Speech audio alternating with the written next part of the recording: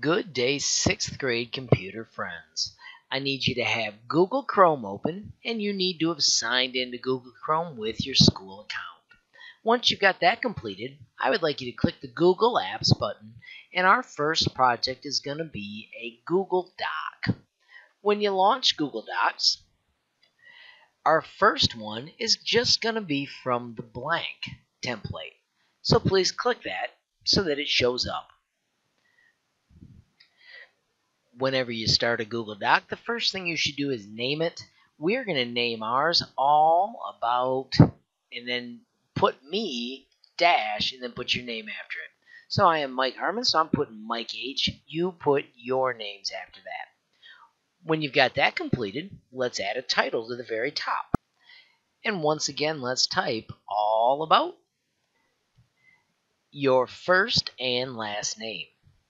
Make sure that you spell that all correctly, and then let's practice selecting the words and making them larger. I want you to choose 30 or 36. You can pick. Once you've got the cool size chosen, I want you to use the center button to center them. And then I want you to pick a fancy font whichever one you like from the list is cool, and then find the font color button and make it a pretty color.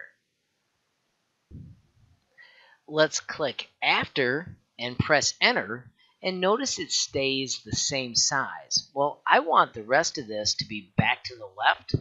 I want it to be back to size 14 and I want you to do your first bit of typing in the color black. So get all of your settings changed so it's set up like that. On this line, I would like you to type hello to everybody and then put a comma. This will be a document all about me. I hope you enjoy it. When you're done typing that, notice it's still the Anton font. Let it set it back to the normal Arial and let's press enter so we can move on to the next part where we add the cool pieces. Friends, as we work through our Google Doc, our next tool we're going to use is the Table tool. And we are going to insert it by hitting Insert Table. And I want you to do one row by two columns. This drops in this cool little two-cell table. But I want to add another one, and I want you to see how easy it is to right-click and insert another row below. It is that simple to get it aligned like that.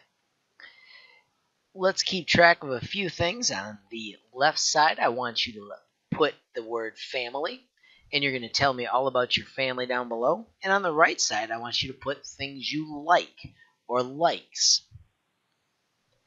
To make our family members stand out, I want you to use the sweet little bullets. When you click the bullets, when you type the people's names, it shows up real cool with a little dot in front of it. So my dad is Steve. My mom is Janice. And I only have a brother named Jeff. And then I would just like you to list all of your family. If you've got more than one mom or dad, just list them uh, however you do. You can list your stepbrothers. You can fill that up as much as you want. If you've got a favorite cousin, you can add them. Uh, I'm going to add my favorite cousin Kurt and just add a bunch of cool information about your family. So that way I can learn a little bit about them. So there's my cousin Kurt. On your likes, I want you to do the bulleted list as well. But this time, let's pick a fancy bulleted list. So I just chose the little down arrow so I could find something different that I liked. So my likes I'm going to list as well, and I need at least five things you like. You can see I added all of the Lions, Tigers, Pistons, and Red Wings that I really like. And then I also mentioned that I like uh, playing hockey, hockey, and my YouTube channel and 3D printing. You can have as many of these as you want, but you got to make sure you find at least five things you like as you're sharing. Let's continue to master the buttons that we have here. So we've taught you the font button, the font size button, We've also worked with the bulleted list. Now let's format this table. Start by grabbing the word family and likes, and let's go back to that center tool. We can also shade those in.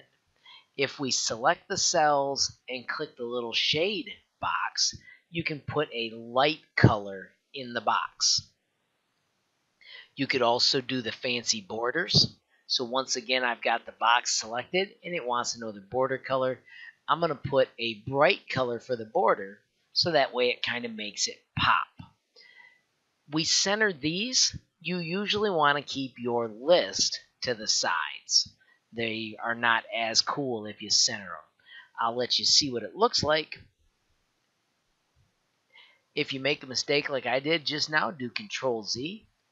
So now I've got those selected. And let's see what it looks like in the center. It's just a little wackadoodle. So whenever you're doing list, that's why you probably put them to the side. Click below your cool all about uh, Mike Harmon, and I'd like you to tell me a little bit about you.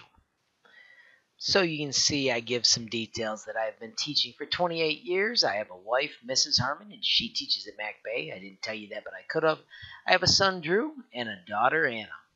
No reason to capitalize that, but I still did. I have lived in Holland, Michigan for 25 years, and I enjoy playing with technology. So just give me a short paragraph about you, making sure that you don't have any spelling errors, and have capitalized as you should have. So you can see here this HL Mod Tech, it says it's not a correct word. I know that it is, so I'm going to leave it. When you've got your awesome project completed, make sure that your neighbor has checked it. Maybe read it out loud to them, making sure it looks really spiffy. And if it does look spiffy, you can return to our Google Classroom, switch to the classwork, and find our Google Doc lesson and turn it in. When you click on it, you choose View Assignment, and then we want to add from our Google Drive and our Google Drive project right here is all about me. You can click add. Once it uploads, it only takes a moment, and boom, you can turn that in.